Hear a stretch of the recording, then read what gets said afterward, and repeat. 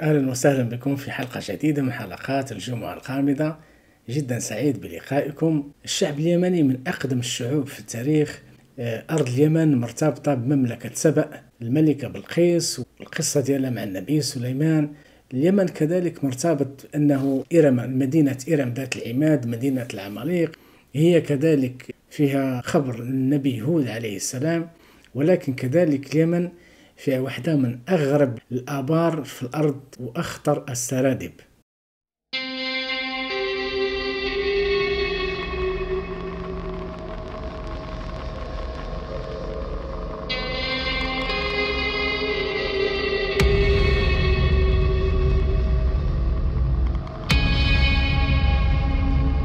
أهلا بكم. القصة ديال اليوم واحدة من أغرب وأعجب الآبار في الأرض. بئر باراهوت اللي كاين في اليمن في منطقة حضرموت وبالضبط في محافظة المهيرة. باراهوت كيقولوا اليمنيين أنه كتعني باللغة الحميرية القديمة مدينة الجن ولا أرض الجن.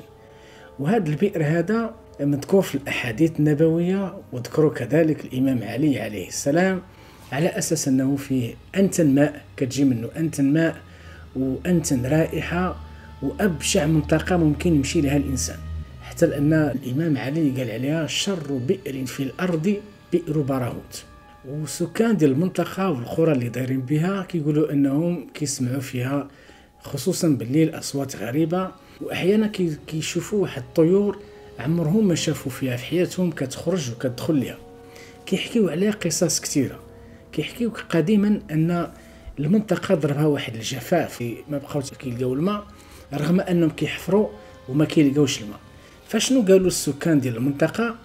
قالوا بما إن بئر براهوت أصلا موجود وبالمناسبة هو العمق ديالو 275 متر والقطر ديالو 100 متر. بالنسبة للعمق كاين اللي كيقول 250 275 وكاين اللي تيقول أن العمق ديالو غير متناهي. فشنو داروا هاد السكان القرية؟ بما أن كاين الجفاف وقالوا أصلا بئر باراهوت محفور وموجود في الطبيعة. خلينا ننزلوا احتمال نحفروا مترو ولا جوج مترو ونلقاو الماء. نزلوا واحد فيهم هو اللي تشجع وبقى ما حتى قنعوه لأنه كان مخلوع. وخصوصا البئر عنده سمعة سيئة في المنطقة.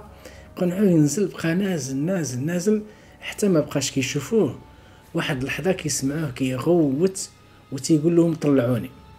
طلعوه كيحكيو أنه ما جبدوا منه غير النص العلوي والنص ديالو السفلي مشى منظر من طبيعة الحال بشع كيحكيو كذلك واحد القصة أن واحد المرأة كانت كترعى الغنم ديالها وخلات الرضيع ديالها في واحد السلة كبيرة. رضيع مازال عنده شهور معدودة غير تلفتات عليه ما عرفت شنو كانت كدير رجعت ما لقاتوش. لكن كاينة واحد القصة شبه موثقة. كانت شهرات في 1990 ديال الأستاذ الجامعي في جامعة حضرموت أستاذ ديال الجغرافيا سميتو حمود بن حافظ. هاد حمود بن حافظ الحلم ديالو أنه يتعامل مع مجلة ناشونال جيوغرافيك اللي دابا عندها تلفزة وموجوده في أبو ظبي والأفلام الوثائقية ديالها كترجم بلغات العالم. فشنو كان بغى يدير؟ بغى يلفت الانتباه ديال ناشونال جيوغرافيك بالوجود ديال هذا البئر هذا ويجيو يدرسوه ويديروا عليه أفلام وثائقية ولكن هو شنو بغى يدير؟ بغى ينزل ويصور ويدير دراسات توبوغرافية وجغرافية على على البئر باش يسهل عليهم المأمورية ويدير شي فيديو دراسة ويصيفطها لهم باش هما يشوفوا داكشي يصيفط لهم réel كيتسمى réel داك الفيديو اللي كتقدم به الفكرة معينة باش يقتنعوا ويجيو يدرسوا.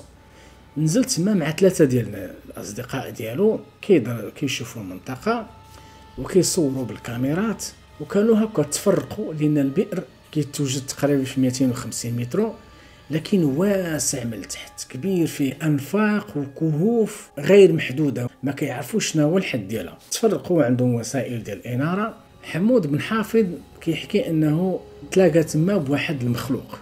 جني شيطان سميه اللي بغيتي. سميتو دوما. وقال له أنا راني عايش هنا منذ ألاف السنين. وقال لي بان راه دوما بالعبرية القديمه كتعني الصمت. وعرفوا بنفسه على أساس إنه هو حارس المنطقة. وقال ليه ما تهز حتى شي حاجة. قال له دابا غير شوف ما تخافش مني لكن ما تهزش حتى شي حاجة. ولو التراب ما ديه شي معاك. حمود بن حافظ هو باحث رغم أنه تخلع وخاف لكن ما تصنتش اليه وهو اكتشف كميات كثيرة من الكبريت. طفى عليه بالريحة اللون ديالو. ولكن داك النوع ديال الكبريت اللي شاف هو عالم ديال الجغرافيا وكيفهم في الجيولوجيا ديال الأرض. شاف داك الكبريت ليس له مثيل. دا معاه واحد العينة لحظات فيما بعد كان مع صحابه كانوا جالسين هكا واحد الساعة. يختفي حمود بن حافظ ما عرفوش المصير ديالو ما عرفوش اشنو طرا ليه. ومنين ديك القصة اللي كان حكى لهم اللي شاف البئر وهما اللي ما شافوها شيء استنتجوا بأن احتمال اختطف من طرف هذاك المخلوق لأنه خان العاد سرق الحارس ديال المكان لأن دوما كان كيعتبر نفسه حارس ديال المكان. هو حارس شنو؟ كاينة واحد القصة مرتبطة بهذا البئر العجيب والغريب أن كان واحد الملك قديما كان كيتعامل مع الجن وكانت عنده كنوز كثيرة وخباها في هذاك البئر والجن الآن كيحرصوا عليه. هذه رواية. وداكشي المشكل أن داكشي اللي كنصوروا آه، حمود بن حافظ رغم أنه كان عنده وسائل الاناره منين طلعوا وحاولوا يشوفوا شنو كاين في دوك الكاسيطات ديك الساعة مازال كاين الكاسيطات ما لقاو حتى شي حاجة. سنين فيما بعد. هذا البئر هذا غادا تسمع بها واحد الشركة كدرس الأماكن وكدير أفلام سميتها خط الصحراء Desert Line دخلت لهذه المنطقة هذه مشات غادا دير دراسة على بئر باراهوت نزلوا واحد خينا ديال الأضواء والكاميرا خدامة. نازل بتقنيات عصرية آلة منزلاها هكا آلة ديال كتخدم بالضوء. حتى وصل ل 100 متر وبدا كيغوت قال لهم طلعوني. هاد المرة هادي طلعوه كامل ماشي بحال الأول اللي طلعوه فيه طلعوه لقاو فيه غير النص. قالوا ليه ياك لاباس شنو كاين؟ قال لهم أنا ملي وصلت ل 100 متر كنشعر بأن ديك الحلقة ديال البئر كنشوف الحيوط كيتحركوا وكنشوف الحلقة غدا وكتضيق عليا كأنها غدا تخنق عليا كنشوف دوك الحيوط البئر غاديين وكيضيقوا داكشي علاش عيطت لكم؟ جاو حتى هما يشوفوا يتأكدوا من الرواية ديالو داكشي اللي شاف بالكاميرا ما لقاو حتى شي حاجة. هذه الروايات والقصص اللي كتعاود على هذا البئر هذا كاينة روايات أخرى عندها علاقة بالعلم. اولا هناك أحاديث كثيرة كتذكر المنطقة ديال حضرموت بأنها غادي تجي منها واحد الكارثة كبيرة. وسولوا النبي صلى الله عليه وسلم في ذاك الوقت الصحابة قالوا ليه لا طراس هذه الكارثة شنو غنديروا قال لهم سيروا للشام راه تما غادي تحميو راسكم. عالم الجيولوجيا تيودور بنت 1894 خلينا غير نهضروا على هذا العالم عاد غنرجعوا للأحاديث. درس المنطقة ديال حضرموت والطبقات الجيولوجية ديالها ولقاها كلها كبريت كلها منطقة كبريتية. مما يدل على أن هذه المنطقة هذه راه منطقة بركانية. وقال لهم بأن في القرن العاشر هذه ألف سنة كان انفجر واحد البركان. بركان كبير كان انفجر في منطقة حضرموت. وكانوا الناس إلى سنة 1813 كاينة روايات على أن هذاك البئر كان مازال كيخرج منه الدخان. فاحتمال كبير أن هذاك البئر كان قديما بركان والأحاديث ديال النبي صلى الله عليه وسلم كتحذر من الخطورة ديال هذاك المكان على أساس أنه غادي يخرج منه جحيم وغيطرى منه واحد الحدث غيؤدي إلى الفناء تقريبا كل البشرية أنه غيخرج منه داكشي اللي كيتسمى بالعلم mega volcano mega volcano هو ذاك البركان العظيم. ذاك البركان اللي كيهدد ماشي غير مدينة ولا بلد بل الأرض كلها. فهناك أحاديث كتكلم على أن بئر برهوت أبغض البقاع إلى الله ومنها سيكون دمار الأرض وفيها شر ماء على وجه البسيطة.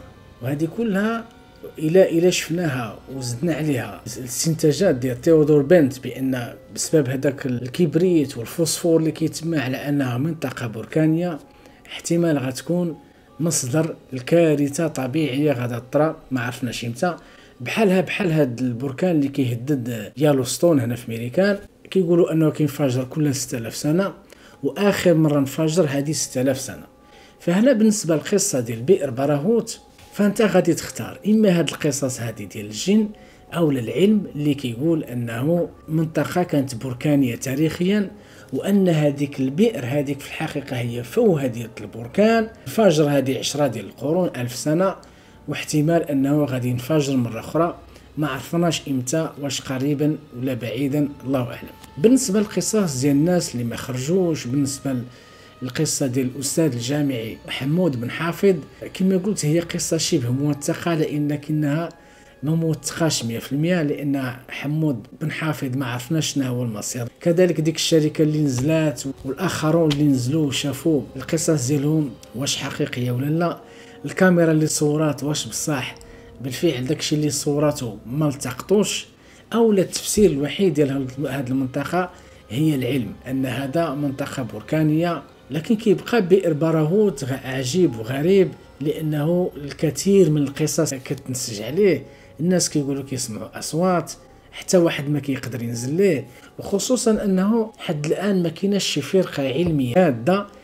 نزلت البئر باراهوت وقالت لينا الحقيقة ومطابعة الحال بالنسبة للظروف ديال اللي كاين الآن اللي كيمر بها اليمن المأساة اللي كيمر بها والحرب اللي موجودة والدمار. ما يمكنش حتى شي واحد يغامر.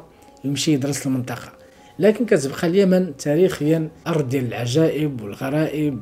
اليمن مذكورة في الإصحاح القديم مذكورة في القرآن وهي كذلك أرض الحكمة. ومن أوتي الحكمة فقد أوتي خيرا كثيرا. وكنطلب من الله تعالى في هذه الجمعة أننا نكون من الحكماء. كنشكركم على المتابعة. إلى الحلقة القادمة من حلقات الجمعة الغامضة.